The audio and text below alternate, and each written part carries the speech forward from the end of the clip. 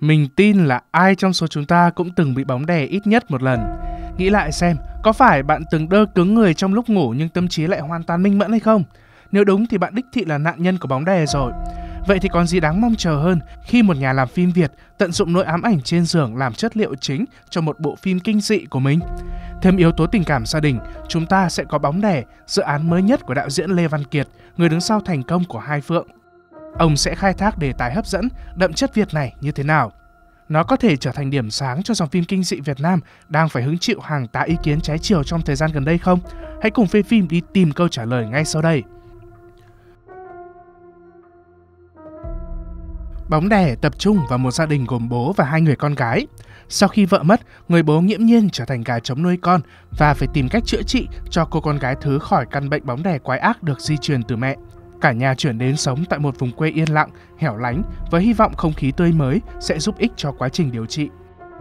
Nào ngờ, khi đặt chân đến đây, căn bệnh ngày càng một trở nặng. Trong khi vật lộn với chứng bóng đè, ba người mới dần khám phá ra sự thật đáng sợ về mảnh đất tưởng như yên bình và cả về người vợ, người mẹ đã xa đi từ lâu. Như đã đề cập ở phần mở bài, sẽ thấy đạo diễn Lê Văn Kiệt muốn truyền tải hai chủ đề chính, đó là tình cảm thiêng liêng giữa những thành viên trong gia đình và sự đáng sợ của chứng bóng đè. Đây là một hướng tiếp cận rất hợp lý vì nó vừa có thể hù dọa, vừa khơi gợi lòng trắc ẩn từ người xem bằng những điều gần gũi. Nhưng đó là viễn cảnh chỉ xảy ra khi bộ phim được thực hiện đủ tốt, còn trường hợp của bóng đè lại trái ngược hoàn toàn. Nói trắng ra là đạo diễn Lê Văn Kiệt đã thất bại trong việc lan tỏa thông điệp của phim. Bóng đè là một phim điện ảnh nửa vời ở mọi mặt. Nói thật, phim yếu đến mức khiến chúng mình phải suy nghĩ rất nhiều vì thật khó để tìm điểm bắt đầu khi khía cạnh nào cũng tệ. May là cuối cùng phim phim cũng tìm được. Đó là cách thiết lập bầu không khí phim. Vấn đề này manh nha ngay từ cảnh mở đầu, khi nhà làm phim cố gắng thể hiện rằng có thế lực nào đó đang thao túng gia đình bằng cách để người mẹ nhấn mạnh về chứng bệnh quái ác trước khi qua đời. Bên cạnh đó là cảnh quay lấy cảm hứng từ The Shining khi ba bố con dấn thân vào chốn nguy hiểm. Đáng buồn là họ làm không tới.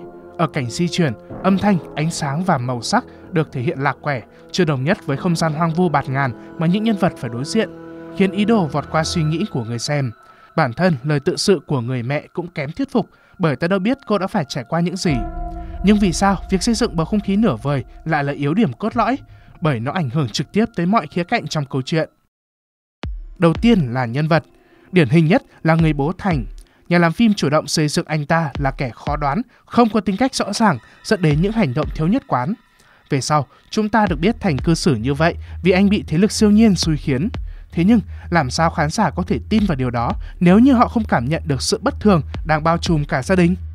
Hai cô con gái cũng vậy, Yến và Linh đều có những hành động khó hiểu, chẳng hạn như một mình thăm dò căn nhà trong đêm mà không có ai hỗ trợ, hay là vui vẻ vô tư trong khi rõ ràng là có biến.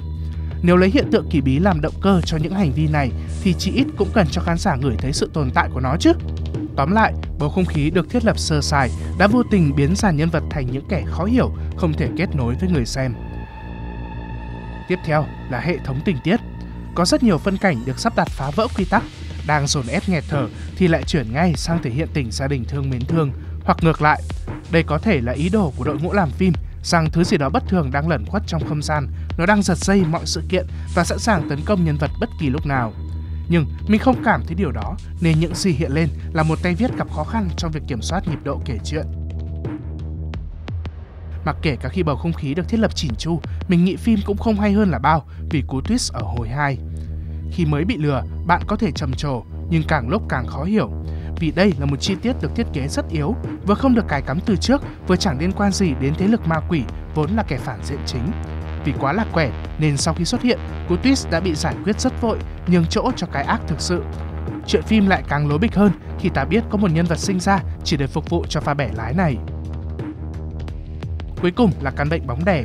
Dù được giới thiệu một cách đáng sợ nhưng nó gần như chẳng có ảnh hưởng gì trong cốt truyện và chỉ là vỏ bọc cho thế lực siêu nhiên. Trứng bóng đè giống như một thiết bị để nhà làm phim tạo ra cú ngoặt và là chiếc phao cứu sinh cho công cuộc marketing.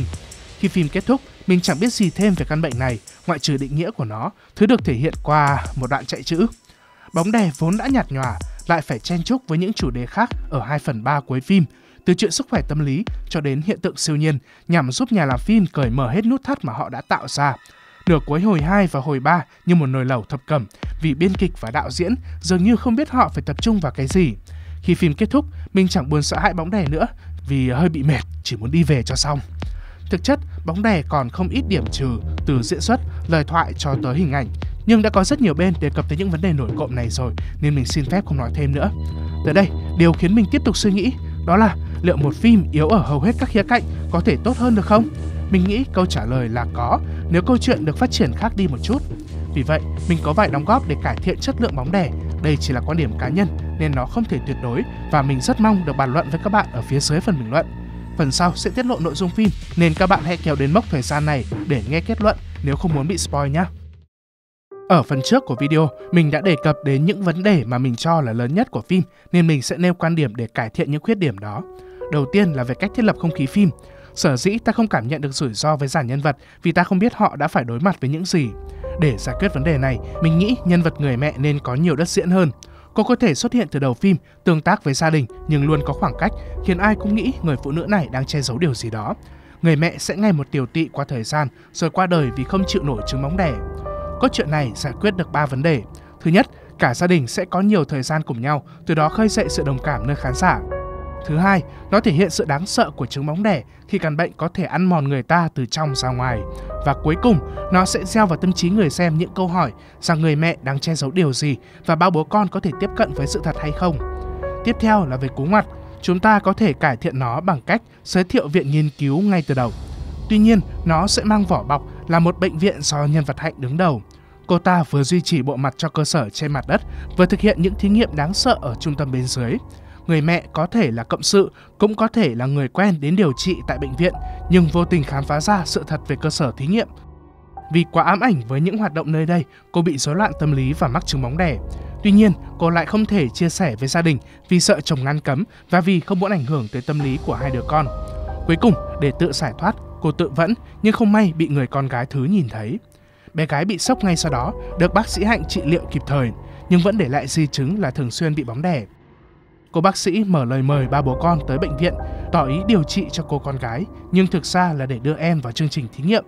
Tại đây, cả gia đình đối mặt với những sự kiện kỳ lạ rồi khám phá ra sự thật dùng mình về viện nghiên cứu. Bây giờ, bác sĩ Hạnh mới tiết lộ động cơ của mình. Cô cũng bị bóng đè, căn bệnh ám ảnh đến mức cô sẵn sàng làm mọi thứ để thoát khỏi nó, kể cả cô có phải tàn nhẫn với người khác. Câu chuyện này có thể khắc phục được một số điểm yếu. Dễ thấy, nó không phụ thuộc vào thế lực siêu nhiên và cho cả bác sĩ Hạnh cùng người bố Thành có cơ hội chủ động thể hiện tính cách. Hướng đi này còn khiến chứng bệnh thêm kinh khủng khi nạn nhân của nó phải hứng chịu những cảm giác tồi tệ đến mức xa vào con đường tội lỗi. Vậy là ba lỗ hổng lớn nhất đã được lấp đầy, không khí được thiết lập căng thẳng và bí ẩn ngay từ đầu mà chẳng cần đến thế lực tà ma, cú twist được cài cắm và bệnh bóng đẻ có sức nặng lớn hơn. Tất nhiên, đây chỉ là những suy nghĩ cá nhân, các bạn hãy thoải mái góp ý nếu thấy điểm nào chưa hợp lý nhé. Tóm lại, Bóng đẻ là một dự án đầy tiềm năng khi mạnh dạn khai thác hình tượng kinh dị đã quen thuộc với mọi khán giả. Tuy nhiên, sự yếu kém về mọi mặt, đặc biệt là kịch bản đã ném nó xuống tận đáy. Mình nghĩ phim khó mà thỏa mãn được đối tượng nào, từ những người muốn theo dõi cuộc hành trình giàu lớp lang và cảm xúc, cho đến những ai định mua vui tại dạp chiếu. Nghĩ lại, dù phim rất tệ, nhưng đây có thể là hệ quả từ việc nhà làm phim đã phải cắt xén, có ép câu chuyện nhằm vượt qua ải kiểm duyệt.